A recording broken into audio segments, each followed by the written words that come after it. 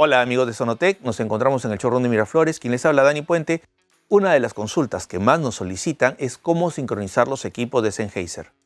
Desde la serie Evolution hasta la serie 9000, trabajan básicamente todos los sistemas de este tipo con un infrarrojo. Vamos entonces a ver cómo se realiza. Primero buscamos una frecuencia libre.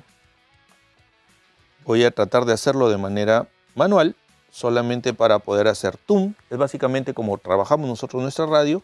Supongamos de que voy a trabajar, o voy a bajar a 594 y esto lo voy a poner en cero. Entonces, he guardado, me encuentro en 594. No tengo absolutamente RF ni tampoco una señal de F y básicamente estoy en un color rojo. Prendo mi micrófono que obviamente se encuentra en otra frecuencia,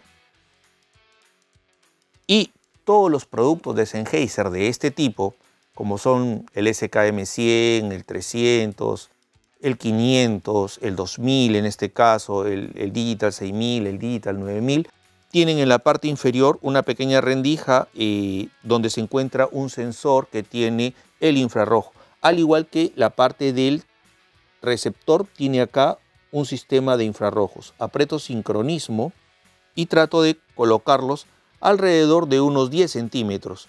Entonces ellos empiezan la comunicación y aparecerá un check. Con esto quedan sincronizados y pueden empezar a transmitir sin ningún problema. Para todas las personas, básicamente esta es la manera de transmitir con Sennheiser. Muchas gracias. Disponible en Sonotec.